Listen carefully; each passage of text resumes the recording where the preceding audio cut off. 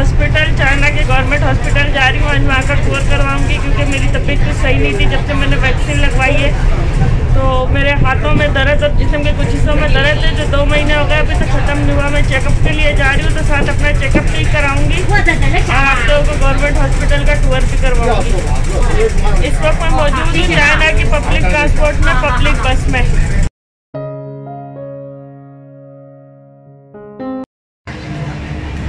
Hospital की building है। और ये मेन इंट्रेंस है जहाँ बहुत सारे बैरियर लगे हुए हैं। क्योंकि वायरस के बाद से बहुत सख्ती कर दी है, इस तरह से एंटर नहीं होने देते। बड़ा सा ये कोड लगा हुआ है, जिसको स्कैन करके अंदर जाना है।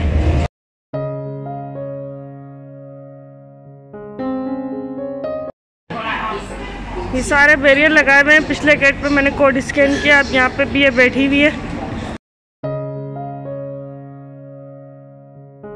हॉस्पिटल पहुँच गई हूँ मैं, ये गवर्नमेंट का हॉस्पिटल है, मैं इसका ओवरऑल व्यू दिखाती हूँ। गवर्नमेंट के हॉस्पिटल में ये है कि फ़ीस बहुत कम होती है मतलब थर्टीन फिफ्टीन ट्वेंटी और थर्टी आर तक होती है। और जब हम अस्पताल आते हैं तो ये कुआ हाव करने बोलते हैं। कुआ हाव का मतलब है कि नंबर लेना, नंबर लेने के लिए लाइन बनानी पड़ती है। हम फॉरनर है तो हम पासपोर्ट के ज़रिए जो है अपना नंबर लेते हैं और जो चाइनीज़ है वो ऑनलाइन भी ले सकते हैं अपने एनआईसी के ज़रिए। लेकिन फॉरनर जो है एनआईसी के ज़रिए नंबर नहीं ले सकते, उनको हॉस्पिटल आने के बाद पासपोर्ट दे के ही अपना कुआ हाव करवाना पड़ता है, नंबर लेना पड़ता है। ये गेट है जिससे मैं इंटर हुई थी गेट के साथ ही सिक्योरिटी गार्ड बैठा हुआ है। ये जो गेट है गेट के बिल्कुल सामने जो है इंफॉर्मेशन डेस्क है। अगर कोई भी इंफॉर्मेशन लेनी हो तो इस डेस्क से ले सकते हैं, यहाँ लड़कियाँ मौजूद होती हैं कैश लेना हो तो भी यहाँ से चेंज करवा सकते हैं।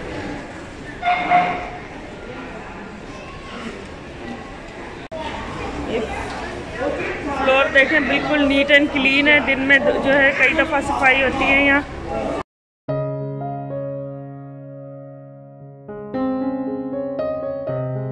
इस तरफ़ ये कंप्यूटर लगे हुए हैं। इन कंप्यूटर से जो है चाइनीज़ अपने एनआईसी के ज़रिए ख्वाह कर सकते हैं मीन्स नंबर ले सकते हैं, लेकिन हम लोग नहीं ले सकते।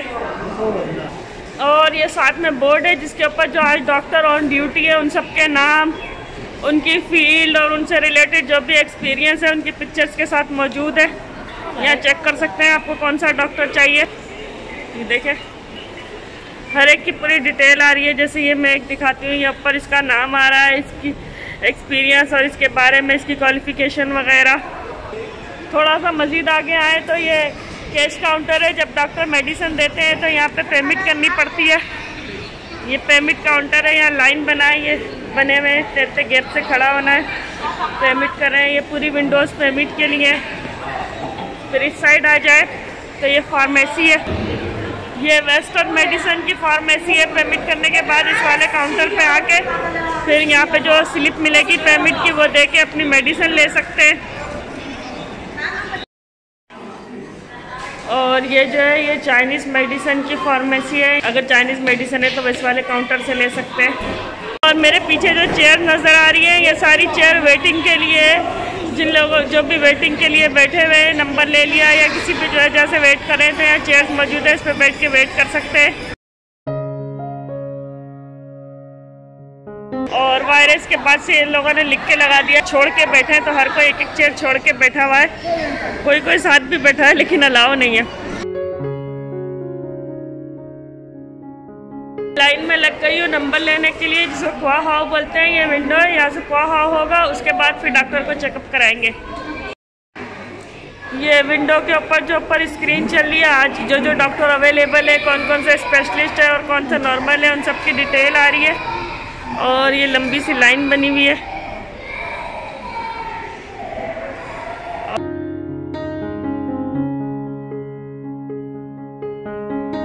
वैसे तो चाइना में सब जगह वीचेट चलता है वीचेट से पेमेंट होती है, लेकिन ये गवर्नमेंट हॉस्पिटल में जब हमें स्लिप बनवानी पड़ती है ना तो इनकी रिक्वायरमेंट है कैश ही चाहिए होता है। वीचेट से पेमेंट ये नहीं लेते और अगर किसी के पास कैश ना हो तो जो इन्फॉर्मेशन डेस्क है, वहाँ वीचेट से उनको पे करके उनसे कैश ले सकते हैं। ये स्लिप बना ली है मैंने और ये थर्टीन आरएमबी की बनी है। चेकअप के चार्जेस बहुत कम होते हैं, लेकिन बाद में डॉक्टर जो मेडिसिन लिख के देते हैं और अगर कोई टेस्ट वगैरह कराते हैं तो उसके चार्जेस ज़्यादा होते हैं। अब मुझे सेकंड फ्लोर पे जाना है, अब मैं ऊपर जा रही हूँ। जहाँ मुझे चेकअप कराना है, वो रूम सेकंड फ्लोर पे। तो कोई मरीज़ सीरियस कंडीशन में है तो ये इसको गेट से व्हील चेयर प्रोवाइड कर देते हैं। चले, ऊपर चलते ऊपर आ गई हूँ, ये इन लोगों ने एरो बनाए हुए हैं कि कौन सी साइड पे जाना है, हर एक के नाम लिखे हुए तीन तरह से रास्ते जा रहे हैं। चलते हैं। अब यहाँ पे इन लोगों ने बैरियर लगाया हुआ है ताकि कोई नेसेसरी इंसान अंदर एंटर ना हो। अब स्लिप देख के ये अंदर छोड़ेगी। अब मैं ऊपर आ गई हूँ, ऊपर वाले फ्लोर के ऊपर। ये डिफरेंट डॉक्टर्स के रूम है। मेरा जो रूम नंबर है टू वन नाइन है। तो मैं वहाँ पे ये जो कोड बना हुआ है, ये स्कैन करूँगी, फिर डॉक्टर की कंप्यूटर में रिकॉर्ड आ जाएगा, फिर बारी आने पर खुद स्क्रीन पर पता चल जाएगा। ये सारी वेटिंग चेयर लगी हुई है रूम्स के बाहर, सब वेट कर रहे हैं। और ये देखें, ये रूम है, ये रूम नंबर है इनके, और नीचे डॉक्टर की डिटेल इसी तरह यहाँ भी बराबर में एक रूम है।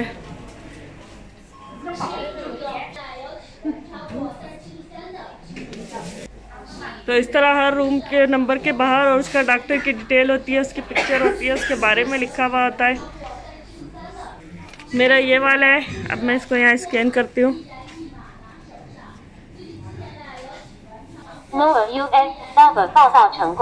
ये मेरा अब आ गया। मेरा थर्टी वन नंबर है नाम का शॉर्टकट आ रहा है।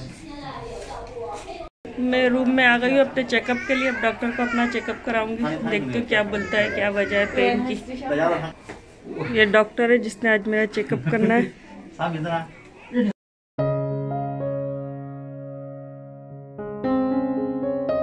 चेकअप करा लिया है मैंने डॉक्टर को। अब डॉक्टर कह रहा है कि मैं भी वैक्सीन की वजह से ही पेन हो रहा हूँ। कुछ लोगों को होता है क्योंकि मुझे भी ये जो दर्द का प्रॉब्लम शुरू हुआ था वैक्सीन के बाद शुरू हुआ था। उससे पहले तो मुझे नहीं हुआ और वैक्सीन के बाद तकरीबन दो महीने हो गए, अब तक दर्द ख़त्म ही नहीं हो रहा। अब ये कुछ टेस्ट लिख के दिए हैं, ये करवाऊँगी, फिर पता चलेगा कि वैक्सीन का रीज़न है या और कोई प्रॉब्लम है। अब मैं कैश काउंटर पर आ गई हूँ पेमेंट करने टू के टेस्ट हैं, जो डॉक्टर ने मुझे लिख के दिए हैं। चेकअप चार्जेस कम होते हैं, लेकिन बाद में टेस्ट वगैरह जो दवाइयाँ लेते हैं ना, उस पर फिर ज़्यादा पैसे लगते हैं। अब यहाँ पेमेंट करके फिर ऊपर जाके अपना टेस्ट करवाऊँगी मैं। और यहाँ पे ये है कि इंश्योरेंस तो हमारा होता है सभी स्टूडेंट का इंश्योरेंस होता है लेकिन चाइना का इंश्योरेंस भी बस उसकी बहुत ज़्यादा पॉलिसीज़ है। इस तरह से जिस तरह से थोड़ी बहुत बीमार होते हैं ना तीन चार सौ खर्च हो गए पाँच सौ खर्च हो गए तो उसका कोई इंश्योरेंस में रिटर्न बैक नहीं होता। खुद से ही वो ट्रीटमेंट कराना पड़ता है। हाँ अगर कोई बड़ा एक्सीडेंट हो जाए हादसा हो जाए कोई बहुत बड़ा प्रॉब्लम हो तब इंश्योरेंस मिलता है। उसमें भी ये शर्त है कि पुरानी बीमारी ना हो। बहुत सारे रूल है। इंश्योरेंस इतना इजी नहीं है, होता तो है, लेकिन बहुत कम ही मिलता है। यहाँ भी जब ब्लड के सैंपल जो भी लेते हैं, पीछे विंडो बनी हुई है ना, बस विंडो के अंदर से ही लेते हैं। रूम में जाना अलाउ नहीं है, उसके बाद जब टेस्ट के बाद उसी डे अगर रिपोर्ट रिसीव करनी हो तो पीछे ये कंप्यूटर स्क्रीन है, इनके अंदर से रिपोर्ट ले सकते हैं, खुद ही प्रिंट निकाल सकते हैं। और अगर बाद में आए, जैसे आज मैंने टेस्ट कराया, वापस चली गई तो फिर ये काउंटर से जाके रिसीव करनी पड़ेगी।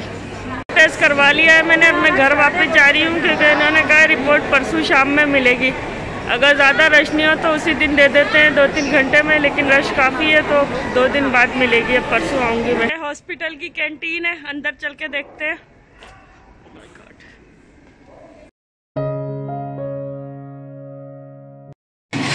ये बंद रखे हुए हैं प्लेन बंद है। मकई है मकई को ज़्यादा खाते हैं ये अंडे हैं।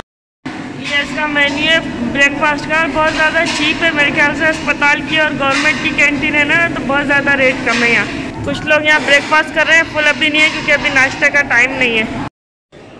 टेस्ट जो करवाए थे वो रिपोर्ट्स मैंने डॉक्टर को चेक करा ली है। तेरी कुछ प्रॉब्लम है? आटो इम्यून डिज़ीज़ है। डॉक्टर ने कहा रिमोथाइड अर्थराइटिस के अर्ली सिम्टम है और उसके अलावा कनेक्टिव टिश्यू डिज़ीज़ है। तो उसके लिए एडमिट होना पड़ेगा, उसके बाद ये बहुत सारे टेस्ट करेंगे। और उसके बाद प्रॉपर ट्रीटमेंट शुरू होगा। और उसने कहा कि वैक्सीन की वजह से मसला नहीं है। मे भी बॉडी में कोई पहले से प्रॉब्लम चल रहे हो, लेकिन पहले सिम्टम ज़ाहिर नहीं हुए थे। वैक्सीन के बाद से सिम्टम ज़ाहिर होना शुरू हो गए।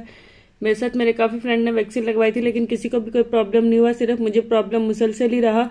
तो अब मैं ट्रीटमेंट के लिए हॉस्पिटल आई हूँ। मेडिसन ले ली है मैंने। ये इस पर जब स्टिकर लगा हुआ है, इस पर तरीका लिखा हुआ होता है किस तरह यूज़ करनी है।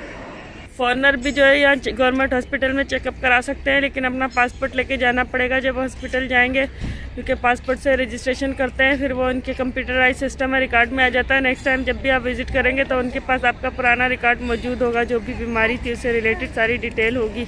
आज का मेरा गवर्नमेंट हॉस्पिटल का व्लॉग कैसा लगा, मुझे कमेंट करके बताना है, और ये बताना है कि आपकी कंट्री के गवर्नमेंट हॉस्पिटल और यहाँ के गवर्नमेंट हॉस्पिटल में क्या फ़र्क है।